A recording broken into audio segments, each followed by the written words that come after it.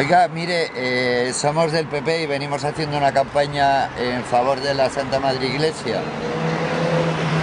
Sí, sí, que...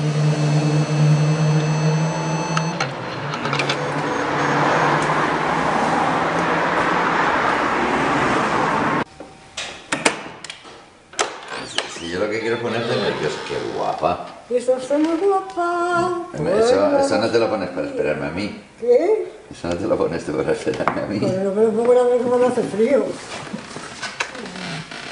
Te estaba esta maña- llamando esta mañana y no, Y no, me pues- contestabas. Y como que no te contestaba, ¿qué hora era? A mí no me saques estos picos de aquí, ¿eh? No, pues te saco los cuernos. Pues no, lo prefiero. prefiero tener cuernos. Carmen Arrojo, una mujer menuda e inexperta, nunca perdió el sentido crítico, tampoco la capacidad de opinar por sí misma, ni la de discernir de los criterios ajenos. Eso la hizo todavía más valiente y más valiosa. Por ejemplo, para mí prudencial es que te comieras eso. A ver, ¿cuánto es esto? Oye, me has puesto casi todo a mí.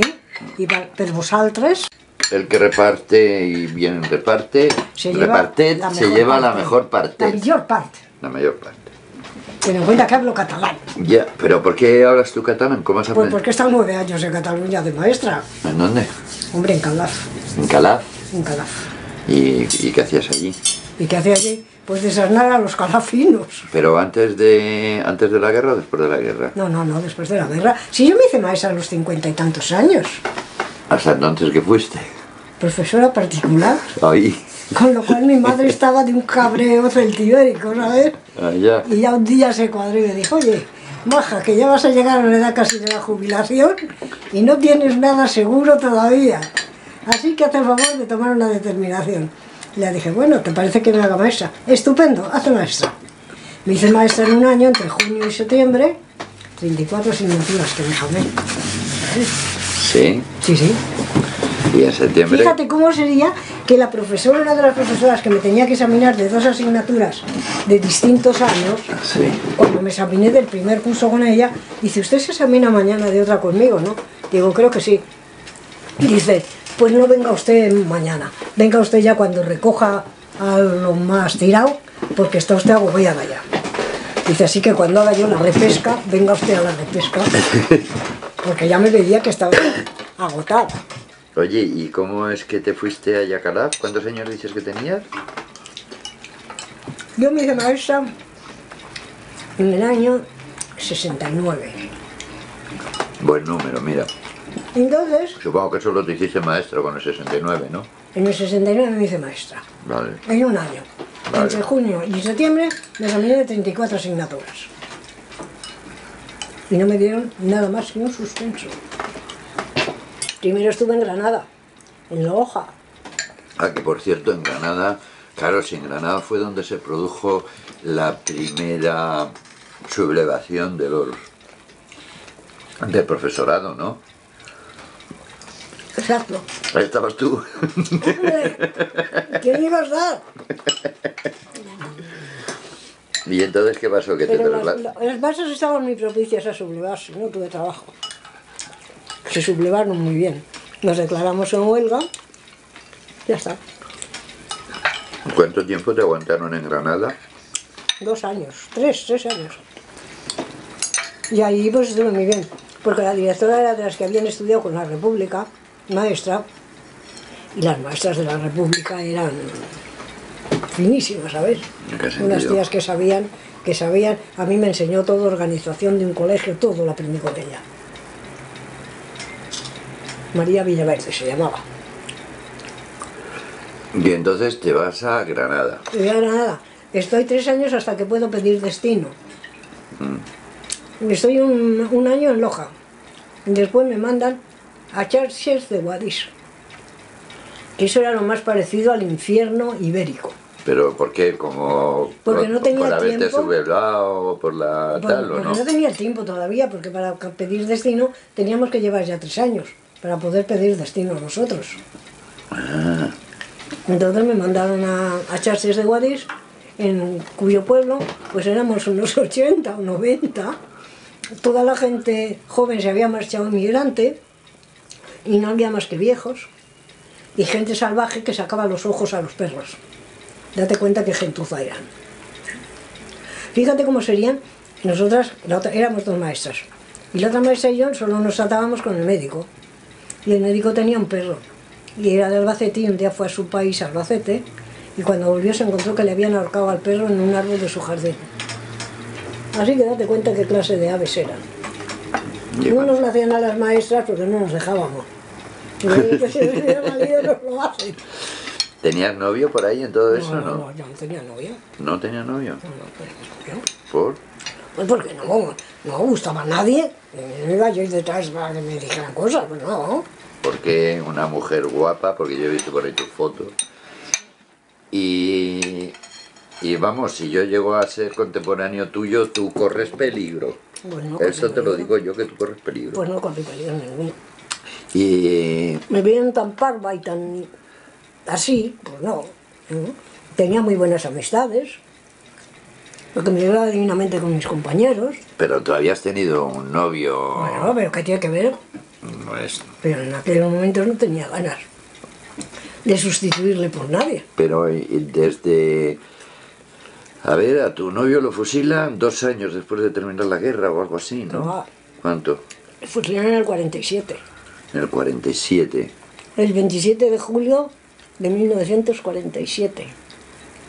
Y le fusilan en Paterna. Bueno, ¿Cu- le ¿Cuántos, fusilan en cuántos años tenía él?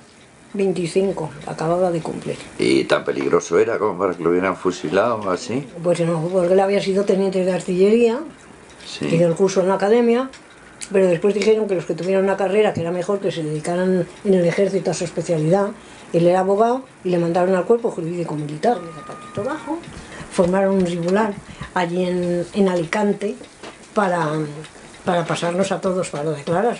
Estaba el gobernador, el obispo y la jefe de falange. Y yo llegué con toda mi inocencia allí. Y me dice el gobernador, bueno, ¿y tú por qué te querías marchar? Digo yo, pues sigue a mi papá. Dice, ¿cómo esta criatura habrá 50.000? Digo, bueno, ¿y- ¿y tú a dónde te quieres ir? Pues yo, a Madrid. Dice, ¿por qué te quieres ir a Madrid? Digo, porque tengo allí familia y creo que me recogerán. Toma, toma, come, come, come, come que se te oxida. Cine, nos llevaron a una sesión de cine. ¿Qué películas pusieron? Ninguna, allí estaba muy El bueno. Cardenal. Claro. Y después del cine nos llevaron a, un, a, un- a la cárcel, a limpiar la cárcel. Hombre, claro. Yo no di golpe, como es natural, dice que la limpie su padre. Yo no limpio aquí nada. No limpiar. Y luego de la cárcel nos llevaron al campo de concentración. Y el campo de concentración era muy divertido porque eran la- donde hacían los ejercicios espirituales, fíjate. ¿Quién es? La- los creyentes de allí eran unas casitas pequeñas y estábamos pues cinco o seis en cada casita. no- teníamos lavabo, no teníamos servicios de nada. Y para hacer los servicios nuestros, pues teníamos que ir acompañadas de dos soldados, una cada, uno a cada lado. Y le dice una mujer, que era saladísima, no sé de qué pueblo era. Le dice, hijo, ¿para poco se ha valido ganar la guerra? Pues total, para acompañar a cagar a la roja. Mira, aquello era, era nos corríamos las juegas. Iban luego todos los curas a mirarnos, abrían la puerta de nuestra casa, tenían los escaloncitos, se subían y abrían así. ¿Aquí quién son? Las putas de los comisarios, que son los curas.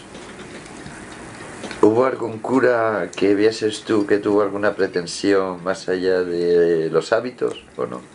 Lo único la pretensión que tenían era de liquidarnos lo más sá- sádicamente posible. Sí. Hombre, O sea, participando veías tú que Hombre. la participación de la iglesia nos iban a ver, mira, yo decía, estamos aquí ahora como copito de nieve el orangután de Barcelona. Nos iban a ver todos. Ah, estas son las putas de los comisarios, ¿no? Y después nos quedamos con las putas de los comisarios. Fíjate, cuando mi hermano se hizo cargo, que mi hermano fue comisario político con el campesino, y le dijo, no tu, tenemos... herma- tu hermano Antonio estuvo con el campesino. Claro, Ajá. él llamaba el pequeño. El campesino a mí no le llamaba el pequeño porque era muy joven también. Sí. Y a mí me llamaba la pequeña, éramos los dos pequeños. O sea que tú estuviste relacionada con el campesino. Yo mucho. Fíjate si estuve relacionada con él, que una vez me detuvieron por orden del gobernador civil de Madrid, que había ordenado que no se hablara nada de la conquista que habían hecho los alemanes en Checoslovaquia, ¿no? que dijo no, que no se hablara nada de eso.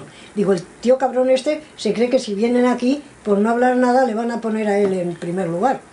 Y yo me eché un día desde el cine Avenida y eché propaganda toda la que me dio la gana y los, los policías apurreando la puerta del palco y yo, ya que no salí, me agarraron y me iban a llevar andando. Digo, yo no estoy acostumbrado a ir andando a ningún lado. Dice, digo, si no, si no tienen ustedes coche, pues avisen para que les vengo a buscar uno. Y entonces cogieron y cogieron un taxi. Y me llevaron detenida. Y cuando llegué allí, fíjate, era la época de la República todavía. Decían en la, en la comisaría, en la Dirección General de Seguridad, que estaban en, la calle de Lista. Bueno, ¿y qué hacemos con estas chicas? Porque éramos tres. La dirigente era yo. ¿Qué hacemos con estas chicas? Pues a ver qué vamos a hacer. Ya sabes la orden que hay, que queden detenidas. Bueno, me dieron a mí una cosa allí para firmarla, la firmé y le dije a las chicas, vamos a empezar a dar la lata, a cargarlos a estos bien. Y empezamos. Estamos muy aburridas. ¿Eh? Pues ¿qué os creéis que vais a venir aquí a divertiros? Pero es que estamos aburridas y lo podemos decir, ¿no? "Ay, me cago en 10, hay que buscar un ajedrez para que jueguen estas chicas y se entretengan. Y tal, nos llevaron al ajedrez. ¿Tenemos hambre? Pues os tenéis que aguantar. Pues tenemos hambre. Pues os tenéis que aguantar porque no tenemos nada para daros de comer. Al fin salió uno y nos llevaron unos bocadillos, yo, eso sería de ramos de lagartija o de algo así. Comimos y, luego ya le avisaron al que era gobernador civil de Madrid que era socialista. Y le dijeron, están aquí detenidas fulanita, menganita y zutanita, que éramos tres. Y dije, bueno, ¿y ¿yo qué voy a hacer? Si han incumplido la orden que hay, pues que se fastidien y que sigan. Entonces entraron los comunistas, "Claro, estas chicas tienen que salir por narices. Claro, fueron los, social, los comunistas, empezaron a mover el asunto, y los de la juventud también, claro. Y a las 2 de la mañana nos pusieron en libertad. Tú en ese momento ya eras de la JSU. Hombre, que era dirigente, era del comité, del comité nacional, era la secretaria de estudiantes. Eh, Tú tuviste algún tipo de vínculo con aquellas famosas trece rosas, ¿no? Mira, te voy a dar yo, el- Hombre, claro, te voy a de- poner un biberón. Una de ellas era muy amiga mía. ¿Sí? ¿Qué piensas tú de, bueno, ya hay mucho hablado, pero qué piensas tú de aquel acontecimiento? Fue una salvajada. Porque desde luego a ti te hubiese tocado. ¡Hombre! Que me había tocado. ¿Y cómo has conseguido? Era yo la más conocida de todas ellas, fíjate. Por eso, ¿y tú cómo conseguías ir escapándote cada vez que surgía alguna... Pues hijo, porque tenía talento natural. Tenía talento natural. Nunca miedo. Bueno, fíjate. Y entonces, bueno, estáis en el puerto aquel de Alicante. Estoy con mi padre, Con mi hermano y mi novio. ¿Y qué pasó con tu padre, tu hermano y tu novio Con mi allí? padre tres años de cárcel. Y a mi hermano le condenaron a cadena perpetua. ¿Ah, sí? A mi hermano. ¿Y qué pasó con él? Y a mi novio le fusilaron. Y yo me escapé porque me hacía una criatura. ¿Y te escapaste a dónde? A UPA. Me escapé lo primero a mi casa. Aquí que a Madrid. Madre, que mi madre cuando me vio se quedó horrorizada. Pensaba comenzar la carrera de medicina y, aunque estos estudios me atraían mucho, sentía dudas y sobre todo sentía una gran pena al separarme de mis compañeros con quienes había trabajado y luchado. ¿Y cómo es que había analfabetismo en la República? Pues porque no duró todo lo que tenía que haber durado. Hizo muchísimas cosas. Porque fíjate que fundó 25.000 escuelas en España. En los pueblos, que en los pueblos no había. Y había 20 fundó 25.000 escuelas. Date cuenta lo que era eso. En 25.000 pueblos de repente se encontraron con una escuela. ¿Y dónde consiguieron los profesores? Los profesores que había. Había un, salieron unos profesores buenísimos de los de la República. Tenían fama. Porque hicieron un plan de enseñanza fantástico.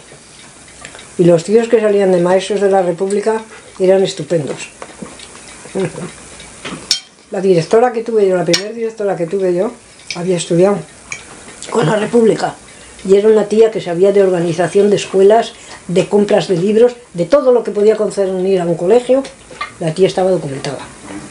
Lo que pasaba entonces, y ahora creo que también ocurre una cosa parecida, que con que supieran el babe vivo, pues ya valían para maestros. Cuando yo nazco, que nazco en el 50, Oh, pues desde una época floreciente. eso era una opinión muy generalizada. Las rojas eran putas. Y los comisarios se liaban con las, con las rojas. Y, lo, y los republicanos cuando conquistaban un pueblo violaban a las mujeres. Claro. Pero tú fíjate, yo tuve la suerte de que al gobernador civil de Alicante le caí muy bien. Porque yo me fui con aspecto muy inocente, muy aniñado, me cortaron un flequillito así, iba con calcetinitos, en fin, muy mona, zapatitos bajos. Y lo menos se le puedo pensar que yo tenía ya, a hacer 21 años. ¿Sabes? ¿Por qué se levantó todo ese blues? O sea, ¿qué, qué beneficio crees tú que tenía, que aportaba el blues de, ¿El qué? de que la revolución, la re- las republicanas eran todas putas? No. Lo que pasaba es que las republicanas aspirábamos a educarnos al estilo europeo. Sí. Y aquí solamente se aspira a educarse al estilo monjil. Ni más ni menos, esa era la diferencia. Ni más ni menos. O sea, dirías que no, te- no tenía ningún fundamento. Claro que no la tenía. Hombre, entre las putas, pues entre las republicanas y las de derechas las habría, habría alguna que otra, no te lo niego. Hombre, no, las unas más caras que las otras, Pero solo clasificarlas, pero ya clasificarlas solamente por su ideario, que ya que eran unas profesionales, hombre, me parece un poco injusto. Porque yo creo que las habría en los dos bandos. En los dos bandos, ¿no? Las que lo hacían por la patria, muchas de ellas eran las que se iban voluntarias al frente, ¿sabes? Que esa fue una equivocación lamentable. Por... Porque no lo debían haber consentido. ¿Qué hacían unas tías que no sabían ni manejar un arma? Que, que lo único que hacían pues era eso, sacar de quicio a la gente que estaba a su alrededor. No, no pedirle a unas mujeres igualdad de condiciones. Igualdad de condiciones en algunas cosas, en otras no. Yo no estoy de acuerdo de que las mujeres seamos iguales que los hombres. Afortunadamente somos distintas. ¿Qué crees que marca la diferencia? Pues muchas características, por ejemplo, nuestra forma de actuar ante los problemas es distinta a la vuestra. Una de ellas. Pero bueno, en caso de guerra, en el que ya se caso de guerra, apretar un botón Pues y- en, en caso de guerra una señora puede dedicarse a hacer ropa para los que están en el frente. Cosa que estaba muy bien. Yo organicé tres talleres de esos. Uno en la Plaza de la Paja. Otro en la calle de Antillón, enfrente de la Casa de Campo. Y otro en el barrio Lucero. Hice yo tres talleres. En el taller que tenía en la Plaza de la- de la Paja, que era el que estaba yo más, tenía 90 señoras trabajando porque no había, la intendencia había desaparecido. Y entonces todo eso tenía que salir de talleres que se organicen. Y luego al final, cuando ya el ejército se reorganizó y se hizo la intendencia, pasaron a ser trabajadoras de la intendencia militar con 10 pesetas diarias. Fíjate, mujeres que habían venido de los pueblos, que no sabían el babe vivo pues encontrarse con 10 pesetillas diarias porque estuvieran en un taller cosiendo con su máquina, pues la solucionaba muchos problemas. Pero una mujer, yo no, una tía con un fusil a mí se me revolvía el estómago cuando lo veía, fíjate. A mí no se me ocurrió nunca. Yo me fui de enfermera, creo que era una buena labor. Porque una mujer puede hacer eso muy bien. Pero hacía falta gente en el frente. Pero ¿no? en el frente ya había señores que estaban todos dispuestos a ir. Participas en el proceso, en los procesos de Victoria Ken y de Hombre, claro. Clara Campoamor. Es que a ver, había una diferencia notable, ¿eh? Victoria Kenner era una tía estupenda. Clara Campoamor era una tía vanidosa. ¿Sabes? Sí, Exacto. bueno, acláramelo un poco más. Pues mira, Porque desde luego la Clara Campoamor tiene plazas a su nombre y sí, sí, sí. es la gran heroína, de, Claro, la gran artífice Claro. de los derechos de la Pues mujer. fíjate si fue gilipollas que pidió el voto para la mujer cuando la mujer no estaba capacitada para ir a- para siquiera firmar, porque la inmensa mayoría en los pueblos eran analfabetas. Sí. ¿eh? Pidió el voto para la mujer. ¿Qué pasó? Que las mujeres votaron lo que les mandó el marido o el cura. O a veces el marido y el cura también. ¿Qué pasó? Que las primeras elecciones que hubo, salió la República pues completamente hecha polvo. Y es cuando vino el binomio, que llamamos el binomio negro, que fue con, con el y con, con toda la caverna ahí en pleno, gobernando. Y fue por culpa de las mujeres, que votaron a toda la derecha. Eh, ¿Qué se hubiese conseguido de no haber, de no haber sido así? Pues se habría conseguido seguramente que no hubiera quedado la República.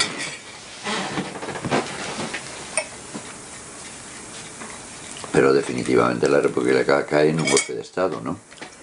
Bueno, pero si el Estado tiene suficientes fuerzas para evitar ese golpe y los que van a hacer el golpe este no les han atado las manos previamente, pues están libres de hacer lo que les dé la gana.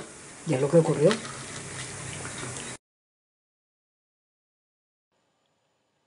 No ha pasado nada. Solamente una loca que se ha tirado por el hueco de la escalera porque su padre se ha degollado en el puerto. Ojalá que todas estas rojas tomaran la misma determinación. Que yo he leído tu libro, Memorias de una Republicana, lo que no se debe perder, aunque, aunque sé ese no es el título que tú hubieses querido poner. Yo no, yo no. Tú hubieses querido poner Memorias de una Perdedora. Claro, claro, ya mucho más lógico. Faldones había- hay una cosa muy divertida que hemos contado ¿Cuál? una vez, es cómo iba requisando en las, en lo- en las tiendas de tejidos de pues, la calle Mayor Ah, y de bueno, tal, sí. que uno iba requisando los tejidos para hacer los uniformes, los tejidos de los santos y de las... Para hacer, para hacer monos para los hombres que se iban voluntarios al frente, Eso. hasta que les daban uniforme. Ajá. Entonces, como yo tenía tres talleres, tenía que surtirles de material de tejidos. Sí. Y ya llegó un momento que en vez de tejidos era tejodas. ¿Sabes? Porque eran hábitos de todos los santos. ¿sabes? Y entonces veías a tíos muy milicianos con unos escopetos así de grande, con el hábito de María del Sagrario o del Santísimo Cristo de Limpia. Eso era cuando estaba yo en las pequeñas, que estaba camuflada, todavía no, salí- no había salido a la superficie y estaba allí camuflada. Y estaba en las pequeñas porque mi madre se había tenido que colocar de costurera en un colegio. Porque estaba mi padre en la cárcel, mi hermano en la cárcel y yo pues al salto de bata, pues la pobre mujer se colocó de costurera porque tenía mi tío, un tío nuestro estaba de, secretario del ayuntamiento de Madrid. Era el tío Perico de Górgolas y de la Gran Puñeta. Eso le llamábamos nosotros porque se llamaba Dampilleta. Y decíamos, pues en vez de Dampilleta y de la Gran Puñeta. Pues ese, ese tío la colocó a mi madre cuando nosotros estuvimos así. La dijo, mira, a tu marido y a tus hijos no les está mal una temporadilla así, que lo pasen apuraditos, esa. pero tú no tienes ningún motivo para pasarlo porque tú eres una buena persona. Y entonces la colocó a mi madre de costurera en el colegio Palacio Valdés. Y allí la directora, que era muy facha también, ¿eh? Pero sin embargo la dejaba mi madre ir a la cárcel a llevarlos comida, todas esas cosas. Mi madre comía allí y además tenía un sueldo. Así que allí mi madre pues estuvo hasta que ya salió mi padre y las cosas se fueron a empezar, empezando a poner mejor y ya se salió del colegio. Pero la primera embestida estuvo allí, en el colegio. En el colegio Palacio Valdés. Existe, ¿no? Sí, sí, en, la- en el Paseo del Prado. Estaba allí ella. Que no me estás contando cómo supiste lo del fusilamiento, Ah. fusilamiento de tu novio. Pues el fusilamiento de mi novio no le supe hasta el mes de enero. Se fusilaron... el 17 de julio, de dices. el- Pero yo estaba con el tifus que me moría. Ah, eso es malísima. y entonces el médico que había allí, que era un puericultor, el mejor puer- puericultor de Lugo, acababa de salir de la cárcel el día que caí yo en la cama. Y dije, "No, ¿a quién podemos avisar? Porque primero los enfermos con tifus había que declararlos y los llevaban a un hospital especial. En el momento que a mí me declararon eso me agarraba la policía ya. Y entonces dijeron, tenemos que aguantar y esta chica tiene que quedarse aquí. ¿Y quién la puede atender? Ah, pues Pedreira, que acaba de salir de la cárcel. Y fueron a Pedreira y claro, Pedreira dijo, esta chica hay que sacarla adelante, sea como sea. Y no dio cuenta de mí ni nadie lo sabía. Le digo, sí, Carmiña está mala, está en una cosa de tipo del estómago. No sabe si será una úlcera o qué. Entonces incluso había un huésped que era muy bueno, era un, era un alférez provisional, pero era muy bueno, me quería a mí mucho en el buen sentido de compañerismo. ¿eh? Y muchas veces decía, Carmiña, vengo a, leerte el periódico, porque ya sé que a ti te gusta mucho leerlo y te lo voy a leer. iba a mi habitación me leía el periódico el chico. decía, Dios mío de mi vida, mira que si le pego el tifus yo a este pobre chico yo ahora, no pegué el tifus a nadie, me le chupé yo sola. ¿Sabes? a mí no me dijeron que le habían matado a mi novio. A mi madre le avisaron que estaba yo muriéndome con el tifus, que no sabían si yo iba a salir o no. Y mi madre llegó el día 26 de julio. Sabiendo ella que ya habían fusilado. No, no, no le habían fusilado todavía, pero mi madre sabía que le iban a fusilar. A mí no me dijeron nada, nadie, nadie. Porque yo me escribía con su padre y su padre me decía, estamos haciendo todos los esfuerzos posibles y tal. Pero nadie me dijo nada. Yo no me enteré aquel día que era el día 26, que es cuando le fusilaron a él, el 26 por la noche. Y le llevaron luego ya al cementerio de Paterna y le enterraron el 27. Resultado, que yo estuve sin saberlo, pero como yo sabía que él estaba en una situación muy difícil, que tenía, su padre era el que tenía que ir a verle y tenía restringida la correspondencia y todo, pues yo, su padre me decía, sí, la cosa está muy mal y todo. Y yo, bueno, yo tragando, tragando, tragando. ¿En qué circunstancias te lo dicen? ¿En qué... Pues las circunstancias que me lo dicen, llega el mes de, enero era, ya había pasado una noche. Y llega un, amigo de mi padre de la cárcel, que había sido del Banco de España, había sido un autocar con el Banco de España y se marchaba a Galicia porque era gallego, pero hombre, lo habían destituido y había estado en la cárcel y todo eso. Y entonces mi madre le mandó con ropa para mí, y para saber que hablara conmigo y, y me dijera la novedad. Y entonces llegó él, yo muy contenta de ver que mi madre me mandaba cosas y todo. Y dice, ¿cómo estás del corazón ya? Y bueno, yo estoy divinamente. Dice, pero vas a necesitar, hija mía, me dijo así. Digo, ¿por qué? Digo, algo de Eugenio. Dice, sí. Dice, lo que te figuras ha sucedido. ¿Qué puedes imaginar? cómo me tuve que tragar la noticia. ¿No podías decir que eras su novia? Sí, sí, a ese sí se lo podía decir. Regresé a casa tratando de dejar atrás el lastre de mis ocho años de existencia inexistente. No tenía ninguna ilusión en el futuro. El fusilamiento de Eugenio me había marcado para siempre. Estoy preguntando mucho sobre lo anecdótico, pero también me interesa conocer, saber de ti qué es lo que pasaba en tu entraña, lo de dentro, esas cosas que implica, en las que se implica el ser de una manera anárquica. ¿Qué me iba a pasar? Porque estaba hecha polvo, fíjate. Mi familia toda en la cárcel o casi casi. Yo teniendo que trabajar en una cosa que no me gustaba porque no me gustaba servir, como puedes comprender. Porque estabas estudiando medicina. Hombre, yo iba a empezar a estudiar medicina. Había, acababa de terminar el bachillerato yo cuando empezó la guerra, en el 36. Mm. iba a matricularme para estudiar medicina, pero no me matriculé. En vez de matricularme en eso, pues me dediqué a la cosa política y entonces yo eh, me nombraron secretaria del sector donde yo estaba, que era el sector Vistillas, y luego pasé a la comisión femenina del, del Comité de Madrid y después crearon la Secretaría de Estudiantes y la llevaba yo, la Secretaría de Estudiantes del Comité de Madrid. Entonces yo me dedicaba a hacer propaganda por los pueblos de la provincia, tenía ir a dar informes, iba también al frente, todas estas cosas. Ah, Eugenio, ¿cómo lo conociste? En el frente. ¿En el frente por qué? Era teniente de artillería. Sí. Y yo tenía asignada la, orientación... ¿Cuántos años tenía Eugenio, perdón, en ese momento como teniente de artillería? Pues 20 me llevaba a mí tres, pues tenía 24, entonces en aquella época. Y ya tenía tres carreras. Tenía dos carreras y media. Dos carreras y media, como los burros, bien. O sea, durante la República había eh, libertades que luego yo ya con la dictadura no conocí. Hombre, muchas libertades, pero muchísimas más. O sea, el amor era suficiente crédito para que una pareja estableciera una relación. Hombre, claro. Incluyendo el sexo, ¿no? Bueno, pues yo le conocí yendo a darles información a, la artillería que estaba en Arganda.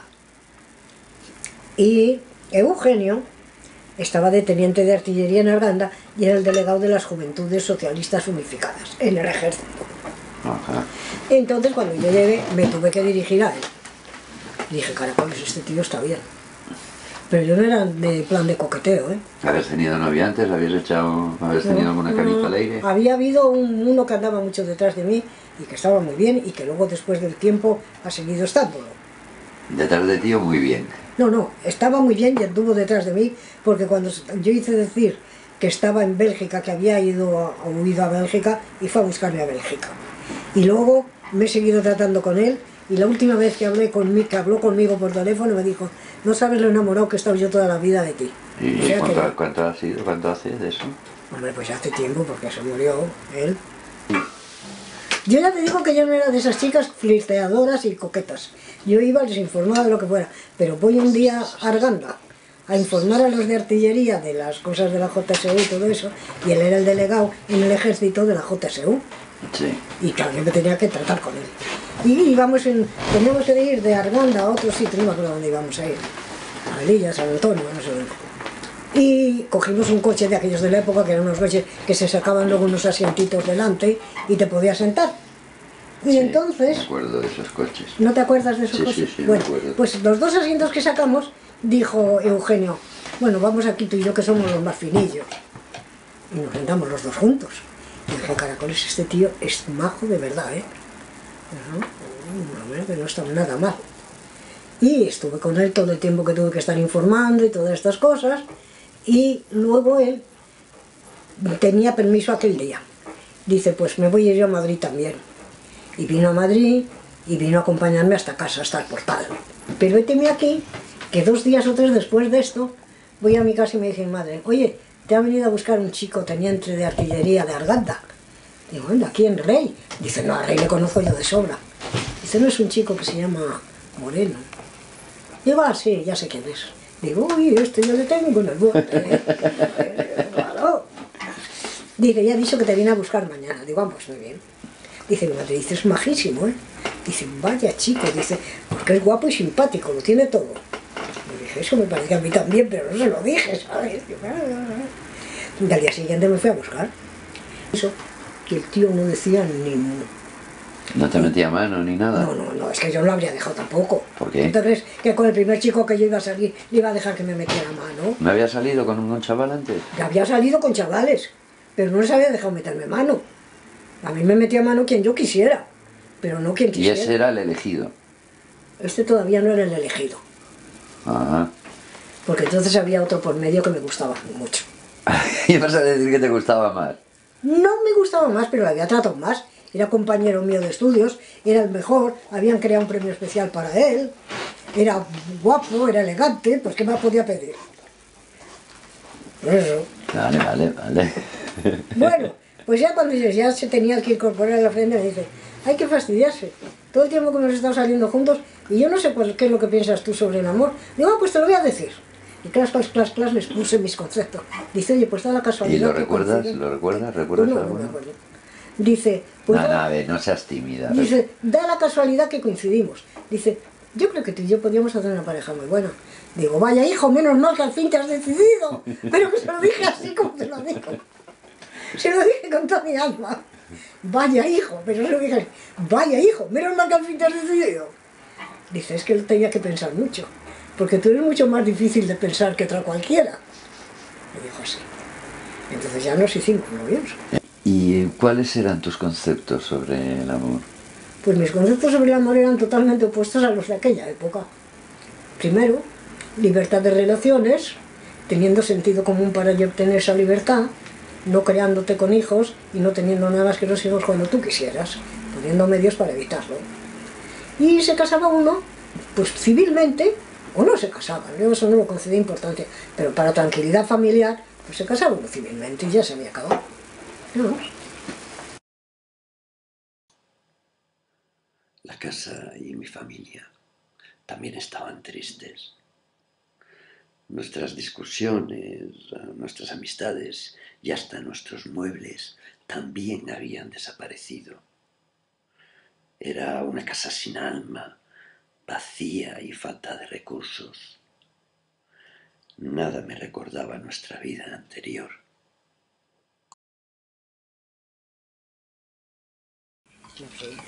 ¿No? Porque yo era chica de la República y no me acostaba con, con nadie. Pero parece que era como... No, no, no, no. Precisamente, la inmensa mayoría de las chicas de la República eran chicas estudiantes, o, o mujeres con carrera ya. ¿Comprendes? Por lo tanto, pues no, era una cosa de una frivolidad y de una orgia y un desenfreno. Hombre, de hecho yo recuerdo que. Keipo de Llano, Hombre, entre las consignas que daba de... Recuerdo un programa de radio, haber oído un programa de radio de Keipo de Llano, incitando a, a, a todo A Cristo todo viviente y decía algo así a los legionarios, se dirigía en este caso, eh, diciéndole, no, decía algo así como ciudadanos, si os encontráis con algún rojo de esos que os mira la cara, si vosotros no tenéis cojones de darle un tiro, tráemelo aquí que se lo doy yo. Y follaros a sus mujeres como ya han hecho los legionarios cuando entraron en... si lo hacían. En Utrera. Pero eso no quiere decir que les abrieran los brazos ellas y que les encontraran amorosos. Si a ti te fuerzan y te obligan, pues te, te lía, se meten en el cacao un legionario, un guardia civil, un todo, el que quiera. Porque cuando tienen su poder, contigo hacen lo que les da la gana. Ahora que alegremente las republicanas se fueran con todo Dios, eso no era verdad. Porque primero, normalmente las que tenían ideas políticas eran mujeres, o que habían estudiado, o que estaban estudiando. Y estas mujeres podían irse con cualquiera, no te digo que no, pero era con quien ellas les pareciera, no con el primero que llegara. Que es muy distinto. Promiscuidad cuando la hubo, fue ya en la guerra. Que ahí es cuando ya la gente se empezó a soltar el pelo, porque salieron milicianas que se iban, y no eran tales milicianas, sino que eran prostitutas. Esto es cierto, ¿eh? Sí. que cogían el cañón y se iban a ligar allí. A ver, tanto es así que ya prohibieron el que las mujeres fueran a la frente por lo mismo. Pero esto ocurría solo en las trincheras de la izquierda o también en- ocurría en las trincheras de la derecha. Pero, los hinchas de la derecha ni hablar. Pero también iban de mujeres. Bueno, pero irían ya profesionalmente a realizar sus servicios. Pero entonces todo aquello que decía Kepo de Llano sobre la Oye, mujer... ¿qué iba a decir que Podellano si era uno de los que dirigía la, la lucha justamente contra la izquierda? El primero que se sublevó en Sevilla fue Keipo de Llano, porque él estaba, uno de sus hijos o una hija estaban emparentados con el presidente de la República. Se había casado uno de ellos. Sí. No sé si era la hija de, de Alcalá Zamora con un hijo de él o un- una hija de él con un hijo de Alcalá Zamora. Creo más bien que era la hija la que se había casado con un hijo de Keipo de Llano. Bueno, está la historia de la famosa carretera de la muerte, que era la que iba de Almería, de Málaga a Almería. Hombre, claro, allí fusilaban a la gente, pero vamos, a. Fusilaban los, los tanques alemanes, eh, los aviones, los barcos Eso alemanes. cañonaban de- o- alemanes o italianos, no me acuerdo. Italianos. Italianos. Los barcos eran, sí, italianos, los aviones alemanes. Exacto, eso eran los, los barcos italianos desde Los la playa, alemanes. desde el mar, bombardeaban a la gente en Iba la por la carretera. carretera. En Y- aquella carretera cayó la gente, pero manadas. Sí, ese quedó con la carretera, en el nombre de la carretera de la muerte. Y Carmen Arrojo, que significan los ideales políticos. Te lo digo porque me he encontrado a lo largo de mi crecimiento con mucha gente que me decía, mira Ramón, tú ni arriba ni abajo, tú en el medio, ¿sabes? Neutral, que cuando da la vuelta a la tortilla, mira lo que pasa. Otros te decían, "Eh, ya, déjate de política, que eso es de otros malos, que eso te trae problemas. Mm, ¿Qué dirías tú de todo eso? Pues yo diría de todo eso que eso no es razonable. Porque si estuviéramos en, un, en una sociedad justísima, que no hubiera problemas, que no hubiera diferencias, que no hubiera injusticias, pues sí me parecería muy bien. Sería idiota protestar contra una sociedad perfecta. Pero nuestra sociedad no es perfecta, ni muchísimo menos. Y precisamente los que nos damos cuenta que no es perfecta, somos los que tenemos la obligación de actuar para que eso no pueda seguir adelante. Y esa es la razón por la cual tenemos que ser políticos. En alguna ocasión te he ido a adjetivar a Santiago Carriño Hijo como un gran cobarde, ¿Por qué? eh, porque nunca fue al frente, No, pues no fue. No, no, no, Eh, porque al fin y al cabo... Era dirigente. Y él quería conservarse, que no le mataran en el frente, porque entonces se derrumbaría la juventud. Se rebeló incluso contra su padre. Hombre, claro. Y le dijo a su padre, a su padre que le daba vergüenza ser hijo suyo. ¿Por qué? Eso se le he oído decirlo a él. Eso se lo oíste tú decir.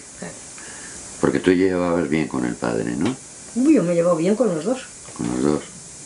Ah, y también te he oído decir que es una injusticia la acusación que. De lo de Paracuellos. de lo de Paracuellos. Estoy casi segura que no tuvo la culpa para nada.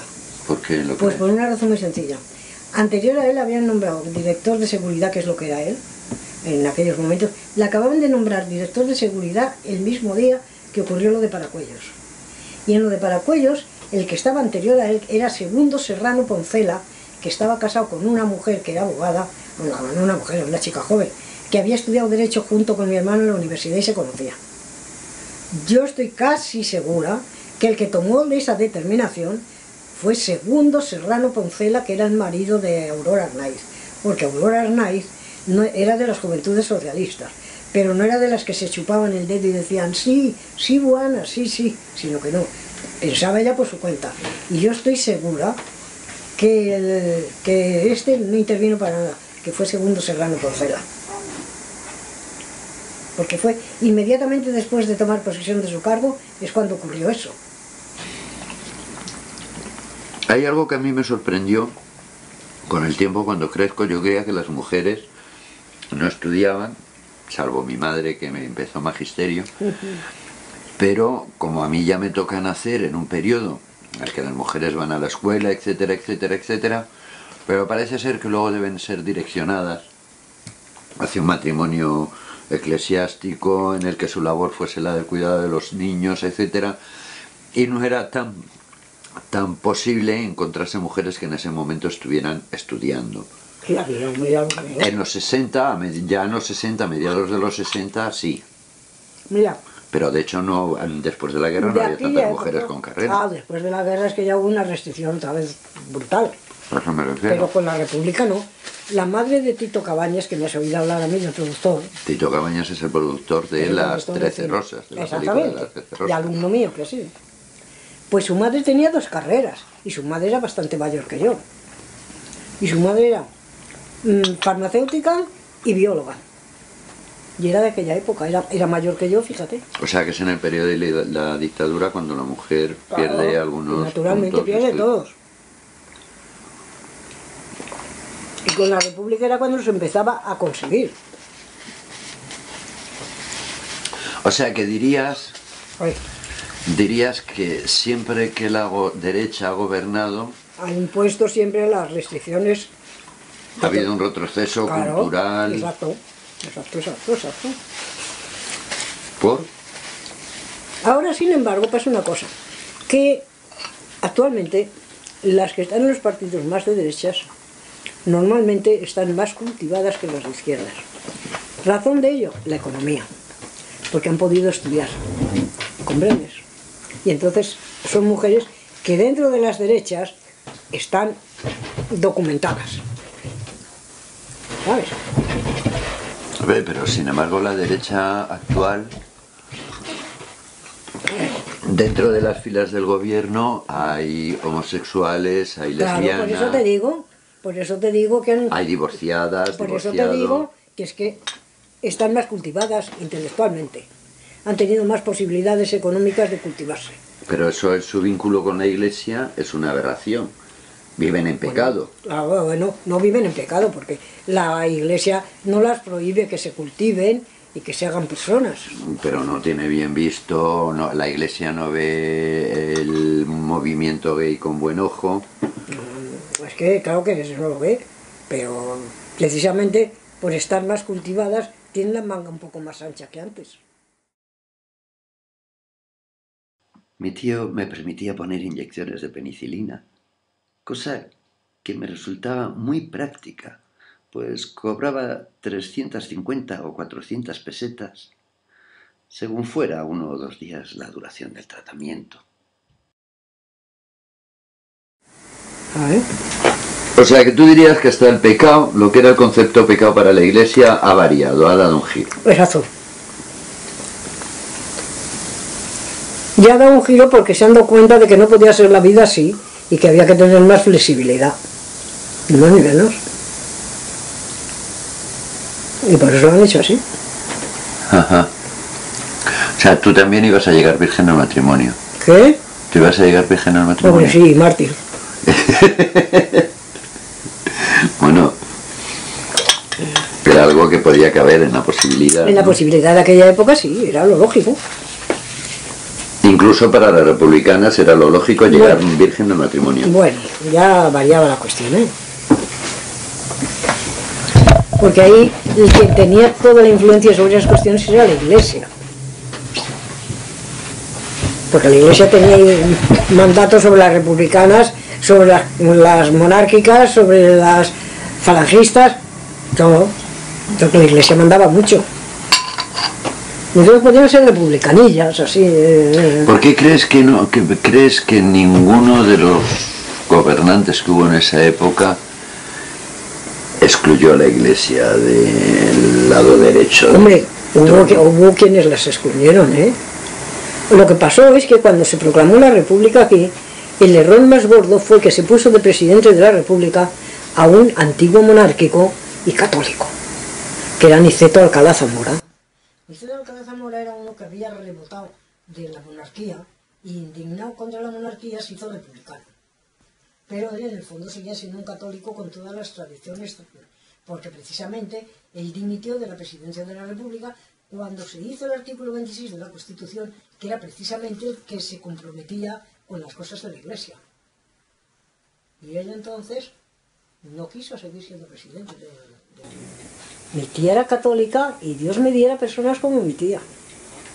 ¿Sabes? Porque mi hermano salió de la cárcel y en mi casa no podíamos casi comer porque era la realidad, estábamos todos, eh, yo estaba por ahí huida, mi padre, mi padre acababa de salir de la cárcel, en fin. Y sin embargo en casa de mi tía nunca faltaba un plato de comida para alguno de nosotros. Y jamás, jamás mi tía se permitió hablar mal de la gente de izquierdas delante de mí. Claro, yo tampoco hablaba mal de los de derechas, pero nos teníamos un respeto o sea que ya te digo que yo con, en ese sentido, yo con mi tía me llevé divinamente. Y no es que yo tuviera que humillarme a seguir los consejos de mi tía, ¿no? Porque mi tía se iba, por ejemplo, a misa. Y mi tío, mi tío, el que era tío mío era, era él, que era médico. Y mi tío tampoco era beato. Y decía, bueno, me vais a venir luego a buscar a la salida, ¿no? Y decía, sí, sí. Y cuando ya calculaba, vamos a esperar a la tía, la, vamos, la esperamos a la puerta de la iglesia. Y ella no se ofendía por eso ni la molestaba. Consideraba que teníamos tanto derecho a quedarnos fuera como ella a estar dentro. A mí un, un creyente, un católico así, me encuentro encantador. Me merece todo el respeto. Ahora, el católico que me quiere meter el crucifijo por las orejas, eso no lo aguanto. Que alguna vez, ¿Alguien de derechas que fuera bueno? Pues sí, que sí lo he visto. sí, mi padre. Como lo he Eh, visto, pues no lo niego. entonces, vamos a ver. En tu libro Sí. hay una, de la- una anécdota muy cruda que relatas ahí. Es ¿Cuál es? No me acuerdo. la mujer del director del banco, no sé si del director del Banco de España, de alguna provincia gallega o Sí, del- de Lugo. esa mujer, los de derechas, la llevan a la carretera y a patadas la hacen abortar. y la dejan eso- allí. Claro, eso fue al principio de la guerra. Sí, sí, la dejaron tirada en mitad de la carretera con el feto al lado. Pues muerta. Claro, muerta, muerto. Eso lo hicieron los de derechas. Los de derechas. Eh, ¿En el otro bando conociste algún caso en el que hicieran No lo conocí. burradas semejantes? No lo conocí. Pero creo que también si se le ponía a tiro lo habían hecho. Porque la bestialidad humana sale siempre a relucir, ¿sabes? Como lo sabían nosotros. Ahora, es mucho peor. La gente que va guiada por un fanatismo, corrientemente es muy peligrosa siempre. Y en los católicos el fanatismo se da con mucha facilidad, ¿sabes? Eran, eran un poco talibanes, ¿no? Sí. Los religiosos, ¿no? Sí, la gente religiosa es peligrosa, porque cree que haciendo cualquier bestialidad en defensa de su idea está ganando una cantidad de puntos para ir al cielo. Y claro, eso es muy malo. Pero había mucha mucho, mu- mucho soldado que lo era simplemente de un bando u otro porque en ese momento Les había cogido en esa zona. Y esos que hacían, pues escurrir el bulto todo lo que podían. Y si se podían pasar, se pasaban. Eso era matemático. y sin embargo luego chaquetearon muchos de ellos porque al estar dentro de las líneas de derechas y la derecha está ganando la guerra eh, eh, No ellos lo se libraron de ¿Qué ser tú que juzgados pudieron chaquetear? Los tenían pero bien vigiladitos. Porque el que era de izquierdas allí iba ya con, con el adorno de izquierdas. ¿qué piensas del aborto? Ah, pues que me parece muy bien. Siempre que tenga sus motivos. Porque lo primero que se debe hacer es poner los medios para evitar a tener que llegar a abortar. Entre el señor y la señora. Porque el señor es media parte de ese negocio. Y el señor debe acostumbrarse a trabajar de otra manera. Aunque no le guste. ¿Qué quieres decir con Pues quiero decir- preservativo, con Claro, naturalmente como sea. en general, claro, ¿no? claro, en general con preservativos. Y en caso de que falle el preservativo, Bueno, en caso de que falle el preservativo y si la mujer y él están de acuerdo en no querer tenerlo, pues abortar, pero en, en el primer mes o en el segundo. Pero ya en meses ya en que el feto ya está muy formado, me parece muy mal. Y de la enseñanza libre que cuentas, yo me acuerdo que incluso había un sistema, que también lo relatas en tu libro, en el que si tu padre te mandaba a ti de vacaciones a San Vicente de la Barquera, Sí. eh, no solo pagaba tus vacaciones, sino que pagaba tus vacaciones y las de una niña Eso o era un con los niño. de la institución libre de enseñanza. Que tenías la obligación, si tú tenías seis hijos y los mandabas a San Vicente de la Barquera, tenías que pagar para otros seis que no podían ir. Eso era la institución libre de enseñanza. Eso lo verías, ¿Sabes? ¿cómo lo verías eso? Pues eso lo veía divino. Aunque eso significara, siendo una niña, No, eso significaba que un niño que no podía moverse en el verano, que tenía que estar viviendo en una casa mala, con calor y muy fastidiado, por un mes podía vivir como un niño feliz. Quiere decir que os, que os infundían una conciencia social, Claro que no le infundían. porque por lógica como niña podrías pensar, Ah, pues que se ah, pues es que el dinero de este yo no Claro, tengo una claro, bicicleta, claro, no, tal. No, no, no, no, no. Yo tuve la suerte de que me educaran en ese ambiente. Eso es lo primero. No hay derecho a que la gente esté viviendo, muchísima gente, esté viviendo como Dios, suponiendo que Dios viva bien. Vamos, haya- incluso que viva. y haya, mucha, haya mucha gente que la están sacando de sus casas para que se quede a vivir en medio de la calle, porque no es el decreto que van a hacer para, no- para suprimir eso, pero hasta ahora se está haciendo. Y eso es una indecencia total. Ya, pero tú qué crees que, crees que pudiéramos hacer? ¿Qué recursos crees que tenemos nosotros para poder hacer algo en contra de eso? Mira, hay un Si no recurso, estamos pudiendo defender nuestros puestos de trabajo. hay un recurso que es muy bueno, aunque parezca que no, que es la huelga general. Porque si todo un país se le manda en contra de una injusticia, es una cosa ya un poco seria. Pero. España siempre ha sido un país de zánganos, mediatizados, acobardados. Claro, pues por eso te digo que no. O Ha sea, habido hasta que no se ven con el agua al cuello, aquí no reacciona Ha nadie. habido una época en que la gente estaba era más, más activa, se movía y tenía otras inquietudes, pero ahora las pocas inquietudes que llegaron a, a crecer las cortaron de golpe después. Y claro, la gente, la gente es un país que hemos vivido siempre atemorizados. Porque mira, en la época anterior, en la época de Fernando y de todo eso, bueno, vamos, no de Fernando el Católico, del otro, pues, ¿qué pasaba? Que la, la Inquisición tenía mordazado a todo el mundo. En la Plaza Mayor se hacían unos autos de fe preciosos.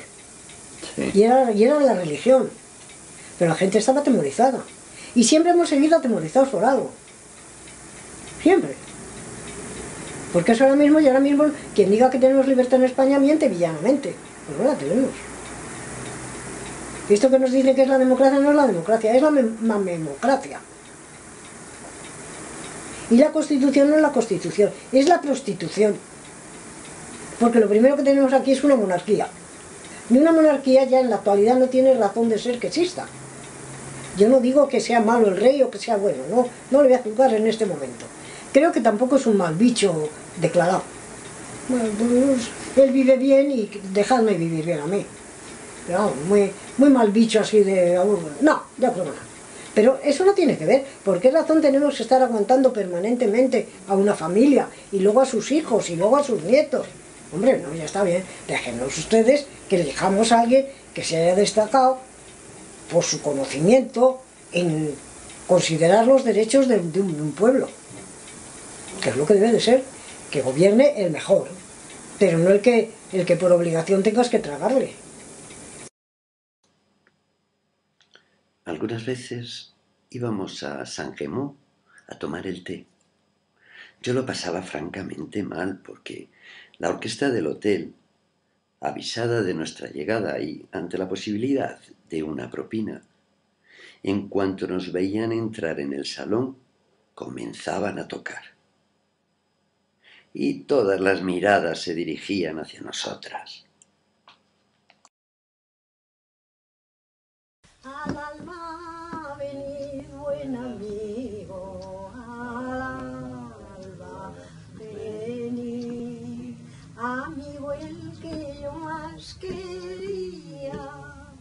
Venid al alba del día, al alba venid, buen amigo, al alba amigo el que yo más amaba, venid a la luz del alba, al alba venid buen amigo, c'est cri, c'est et tout me souris, c'est suis, c'est souris. Mon petit cœur sur pères va se brisser de bonheur. Je trouve mon prince sans main, comme dans les romans. C'est un rêve, et joli rêve, Sevilla trovò pure febbre, se ne canzone, che il sole sorge, chi me lui ed ispare, la velisquare, segno si croare, yo voy tras de esa arena perder, la flipo estonce, en su sacerde, llanto se me revele. Este es un ramo de flores que trajeron los Reyes Magos. Ay, pues muchas gracias. ¿no? Pues sí, que eso los Reyes Magos les agradezco mucho su gentileza y que lo colocan por ahí. Ah, pero tú crees en los Reyes Magos. Sí, pero claro. Ay, qué bonita es. Yo soy una mujer muy inocente. Qué bonita es. Siendo republicana en los Reyes Magos. sí, sí, sí. que...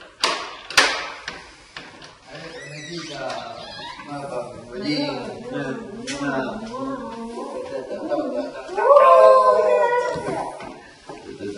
pares, que te da vertigo. Te da vertigo. Ayer guapo. ¿No se escapa mi gato? ¿Tu gato? No. No, no. Adiós. ¿Y, esa bandera que es sí a la guerra? Ahí pone sí a la guerra. Hay que ponerse a la guerra. Sí. Y esta es la bandera nacional, ¿no? Exacto. Esta era la palabra española tradicional. Claro, mira, la bandera de Falange, sí, ya sabía yo que era la para confundir a la gente. Bueno, adiós, Carmen, muchas gracias. De nada, a ti. Guapa. La comida muy rica.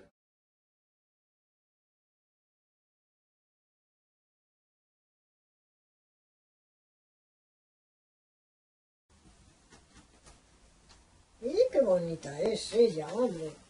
Ella tiene una tranquilidad con su alma. Se está cansando ya. A ver que te vea yo que te la pueden escuchar. Uy, quiero que muy enfadada. Uy, qué enfadada está. Uy, qué gata más guapa que tengo, Dios mío. Pues no creáis que yo no me aburro. Yo tengo a mis gatos. Tengo muchas cosas que hacer. Ya, me tienes a mí, que soy como un perruco. de laras. Mateo, yo perruco Mateo. Ven aquí, cuchi, cuchi, cariño, ven. Bis, bis, bis, bis, bis. Ven aquí, bis, bis. Bis, bis. Con mis gatos es buenísimos, ¿eh? ¿Y cómo hace la torrija? Las corto, dejo el pan duro. Aprovecho el pan duro. Lo corto, le pongo en una fuente extendido, cortadito, caliento leche con azúcar y canela y se lo echo por encima para que se ablanden. Y cuando ya se han ablandado, ¿Cuánto tarda eso? eso ya lo tienes que ver a ojo. ¿vale? Cuando está ya blandito, así lo tocas un poquito. Y entonces ya, pues bates de un huevo, dos huevos, según la cantidad que vayas a hacer. Y pones aceite a calentar, que esté bien calentito, pero no quemando. Y rebozas el pan mojado en leche. La leche tiene que tener azúcar, ¿eh? Azúcar y canela. Entonces ese pan que está ya previamente blandito, lo pasas por el huevo y le fríes y ya están hechas. Y después les eches un poquito de azúcar y canela por encima y listas. Riquísimas.